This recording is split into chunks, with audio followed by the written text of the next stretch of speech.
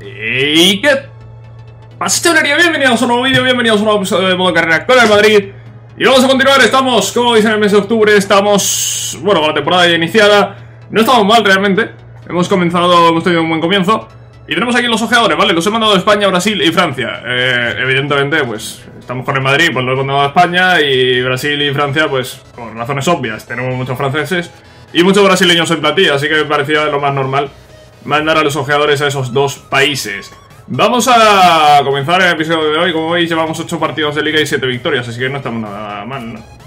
¿Son 7 victorias? Sí. bueno, que, había la posibilidad de que fuesen... Bueno, no, realmente no. Estaba pensando en 6 victorias y 3 empates. No, no, no dan los partidos. No, no, son 7 victorias. Y solo una derrota en este comienzo de liga. En Champions sí que es donde estamos teniendo problemas. Empatamos contra el Spartak fuera. Y sobre todo ese empate contra el Lyon en casa eh, nos va a dar muchos problemas. Puede que quedemos fuera de la Champions y nos vayamos a la Europa League. Con el equipo que tenemos.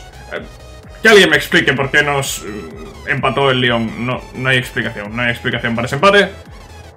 Pero bueno, vamos a comenzar hoy contra el Leganés, ¿vale? Después nos enfrentaremos al Alacho, eh, al Alacho fuera de casa. Claro, es que, es que desaprovechar ese partido contra el Lyon es lo peor que hemos podido hacer. Nunca, jamás.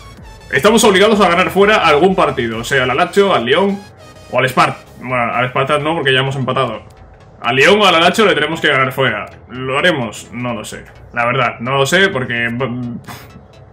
Váyatela. Váyatela. Vamos a jugar contra el... Eh, sí, vamos a jugar contra el Leganés. Estoy mirando así un poco el calendario. No, es que lo más normal es jugar contra el Leganés. Es lo más normal, según estoy viendo yo aquí, el, el calendario. Sí, es que es lo más normal, sí. Vamos a jugar contra el Leganés y, ya está. Jugamos contra el Leganés con el equipo suplente, ¿vale? Así el equipo titular que descanse, que descanse para la Champions, para ese partido contra Lazio, que va a ser muy, muy clave. Y nada, vamos con nuestro 11. Valerio Vázquez ya con 89 de media. Una locura, pero si no recibimos una oferta de cesión, yo no puedo hacer nada. Y nada más, vámonos al municipal de Butarque. Aquí estamos ya en Butarque para enfrentarnos al Leganés. Jornada número 9, si no me equivoco. Leganés Real Madrid, vamos a por la victoria con el equipo suplente para seguir siendo líderes en Liga.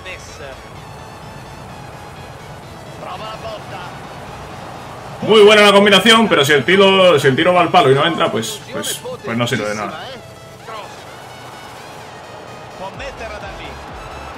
Bueno, pues nos tenemos que meter prácticamente dentro de la portería para marcar gol. Pero ahí está, Mario Vázquez que marca el primero.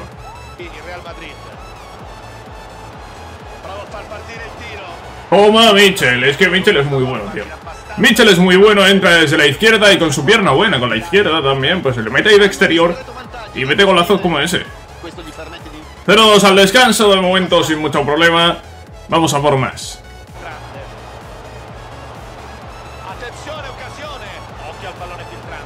Uf, Valerio, Valerio, que has estado un poco lento, pero aún así ha conseguido controlar y marcar el tercer gol en esa contra muy bien llevada por Price.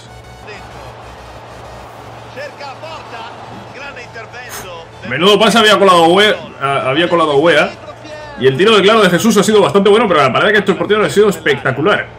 Con esto vamos a acabar el partido con ese corner que Diop no ha conseguido rematar demasiado bien, no va a ir nadie. Pues nada, que no vaya ningún jugador mío, gracias, no me cambias a ningún jugador cerca. ¡Ea! Pues nada, pues 0-3, ¿vale? Ganamos el partido al Leganés. Buen partido. Buen partido, la verdad, ha sido 0-3, podría haber sido un 0-8, pero bueno, eh, mira, de hecho, 8 tiros a puerta, exactos. 8, tiros a puerta más uno al palo, podría haber sido un 0-8, incluso un 0-9 perfectamente, pero bueno, no ha estado mal. Ha sido un buen partido, ha sido un partido interesante. Y nos llevamos la victoria, que al fin y al cabo es lo que más importa. Vamos a continuar, ¿vale? Era el primer partido este del episodio. Vamos a empezar ahora ya con lo bueno. Y lo bueno es la Champions. Lo bueno es el estar al límite en la Champions, como estamos en este momento. Bueno, eso de bueno tiene poco. Si no ganamos a la Lazio, nos metemos en un problema. ¿Vale? Porque no ganar a la Lazio implica que el Lazio y el Olympique de Lyon acaban eh, la primera vuelta por encima. Que sí, que queda una segunda vuelta, que en esa segunda vuelta tenemos dos partidos en casa, sí, es una realidad. Pero... Ojo. Ojo porque si nosotros no ganamos, la se quedaría como mínimo a un punto. Que es a lo que está ahora mismo. Y el Lyon si gana, que tiene toda la pinta, está ahora mismo a 2, se quedaría a 5. eh, se complicaría bastante. Se complicaría bastante todo. Confiemos, confiemos en nuestro equipo. Necesitamos ganar fuera si queremos estar en, los octavos, tío. Los octavos. ¿Dónde va a ser? En los octavos, tío. Sí que ese empate contra el León, tío, es lo peor que, ha habido nunca, tío. Ese, empate no tiene ningún sentido. Y ese empate nos puede mandar a la mierda. Gol de Paulsen, toma ya. ¿Quién es Paulsen? ¿Quién es Paulsen? Necesitamos el empate, tío. No, no, por favor. Por favor, tío. Por favor. No, tío, no. Encima una derrota, tío. Encima. Toma ya. Toma ya. El Alacho a 4 y el León se ha ganado a 5. Qué asco de juego, en serio. Qué asco de juego. Qué asco de juego. Qué asco de juego, qué asco de factor casa. Qué asco de cuando yo juego en casa no hay nada. Qué asco, en serio. Es un asco. Es un asco, tío. Es un asco.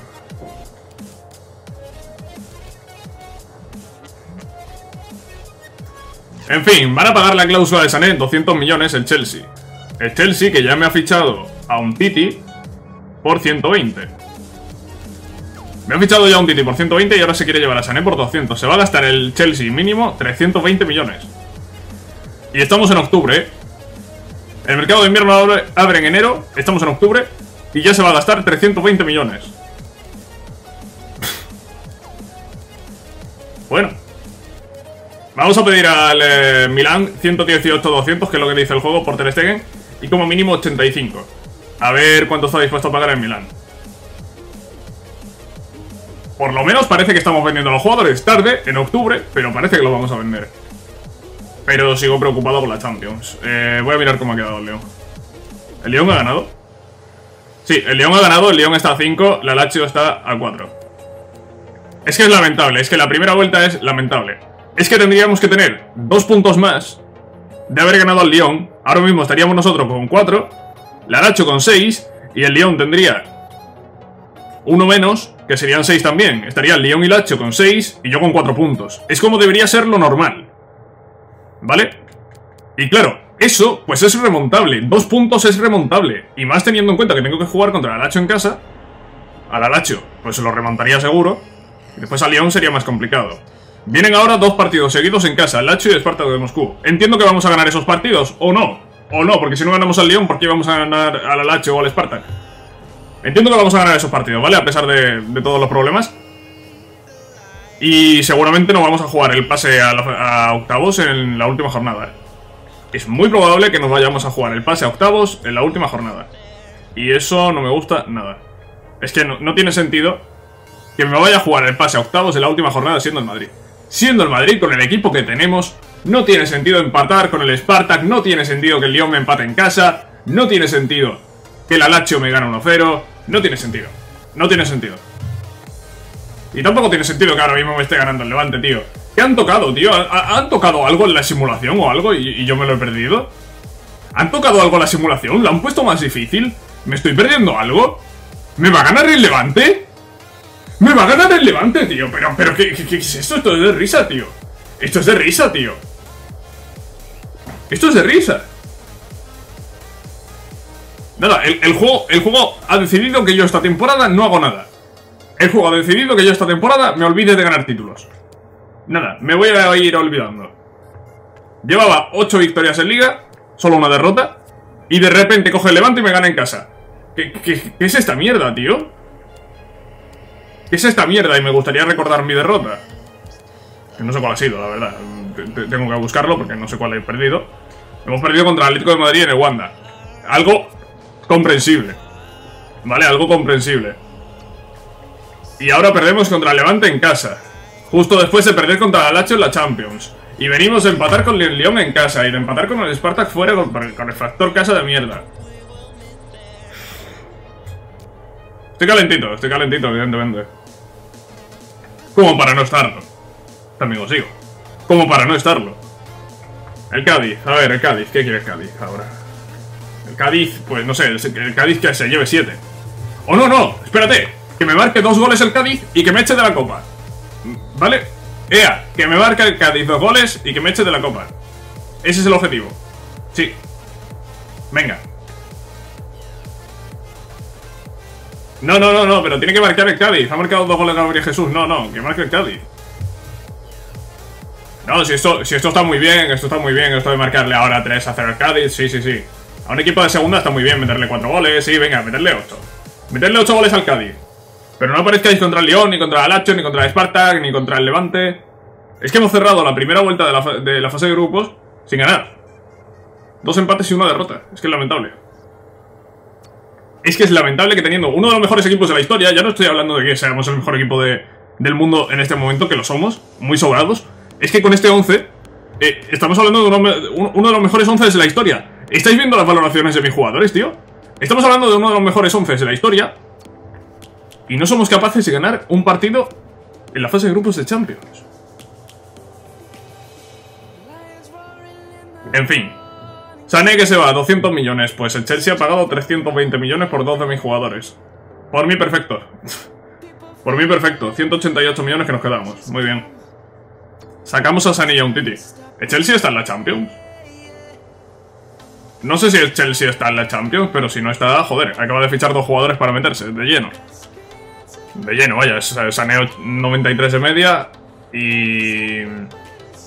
Y un Titi 92. Estamos hablando de dos de los mejores jugadores del, juego. Yo siempre he hablado de la teoría de que si no pones a tus mejores jugadores, como que el juego no te deja ganar, ¿no? Como que el juego dice, ah, pues si no estás poniendo a los mejores, no vas a ganar. Igual ese es uno de los eh, problemas por los que no estamos ganando. Porque no estamos poniendo a Sané, no estamos poniendo a un Titi. Y, igual es por eso, por lo que el juego no nos está dejando ganar. Porque no estoy utilizando a Sané, no estoy utilizando a Ter Stegen, no estoy utilizando a un Titi, eh, no estoy utilizando a, Rashford. Igual es por eso por lo que el juego no me deja ganar.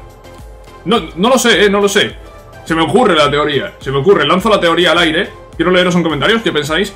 Eh, no sé, igual es por eso, ¿no? Igual el juego dice, ah, si no utilizas a los mejores, pues no vas a ganar, porque no me da la gana. No lo sé, no lo sé, igual es esa una de las razones, ¿no? No lo sé, igual ahora cuando vendamos a Sané, vendamos a un Titi, vendamos a... A Rashford, a Isco, Neymar, a todos estos, igual empezamos a ganar. Igual empezamos a ganar todos los partidos. Igual, igual hacemos una racha de 20 partidos seguidos ganados, no lo sé. No lo sé, no lo sé. Es una teoría, es una teoría. Eh, veremos, hay que comprobar con el tiempo si... Hasta qué punto puede llegar a ser cierta. Ha marcado Sergio Gómez, ha empatado García y Wea en el 83 nos da la victoria. 1-2 frente al Rayo. 1-2 frente al Rayo. Y llega la Champions. En casa contra la Lazio. ¿Qué, decir de este partido? Pues no, no sé. No sé, es que no hay, no, hay mucho que decir realmente, ¿no? No sé, no, no, sé. A ver, voy a poner a jugadores a entrenar, vamos a poner a Sandoval. Estoy mirando, vale, estoy mirando aquí una lista. Sandoval y podríamos poner a Pinot, que es lateral, si no me equivoco. Pinot está entrenando ya, pues... Rousset. Rousset es el siguiente. Vale, creo que ahora mismo tengo a todos los jugadores entrenando. Todos los jugadores que me interesan, evidentemente. Porque Granero, por ejemplo, no tiene 80 de media, pero está transferible. Vidal Parreu también. Vidal Parreu, de hecho, lo he vendido y Granero diría que también. Rueda de prensa y finalización de contratos de jugadores. Bueno, esto es Sandoval. Sandoval sigue bugueado. ¿Vale? Para que no lo sepa, Sandoval, pues no sé qué le pasa. Pero tiene menos un euro de valor, tiene menos un euro de sueldo y tiene menos un mes de contrato. Esto lleva así desde la pasada temporada y el jugador no se ha ido del equipo, así que entiendo que, bueno, pues lo vamos a tener aquí indefinida, indefinidamente. Está cedible. No sé qué pasará si lo cedo, pero está... Está cedible y creo que no hemos recibido ninguna oferta por él. No sé qué pasará con ese jugador, la verdad, pero bueno, si lo tenemos ahí indefinidamente, no lo tengo que renovar, no le tengo que pagar un sueldo, pues bueno, pues... Pues que se quede ahí. 110 millones está dispuesto a pagar en Milán, no vamos a negociar más, creo que es una buena cantidad. Teniendo en cuenta que tiene 32 años, aunque sí que es verdad que sigue siendo uno de los mejores porteros del mundo, ¿eh? 92 de media. Solo tiene un punto menos que Donnarumma, que creo que es el mejor. Así que está bastante bien. 110 millones Ter Stegen, pues otra venta muy millonaria.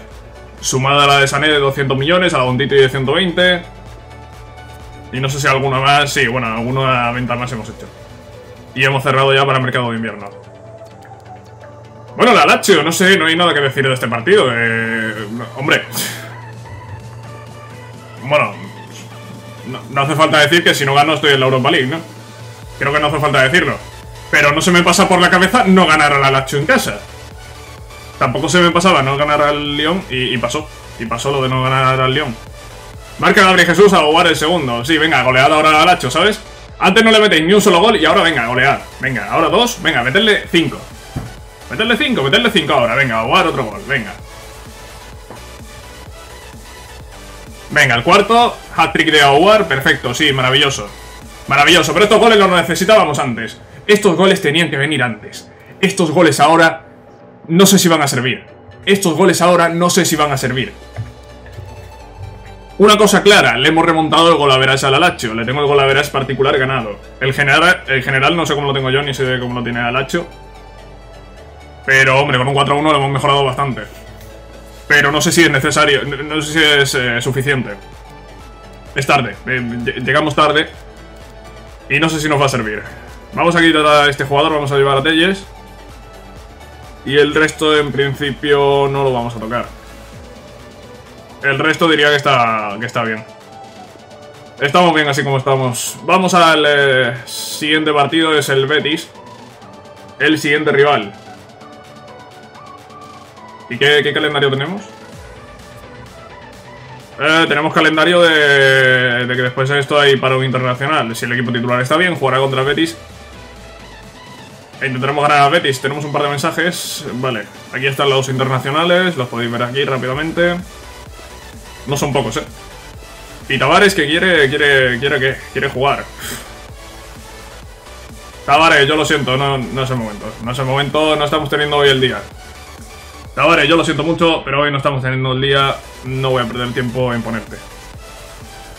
Real Madrid Betis, vamos con gol de Aguar, que ha metido un hat-trick antes, marca ahora otra vez. Bueno, está bien que marque, evidentemente. No me voy a quejar del que marque, pero estos goles pueden llegar antes.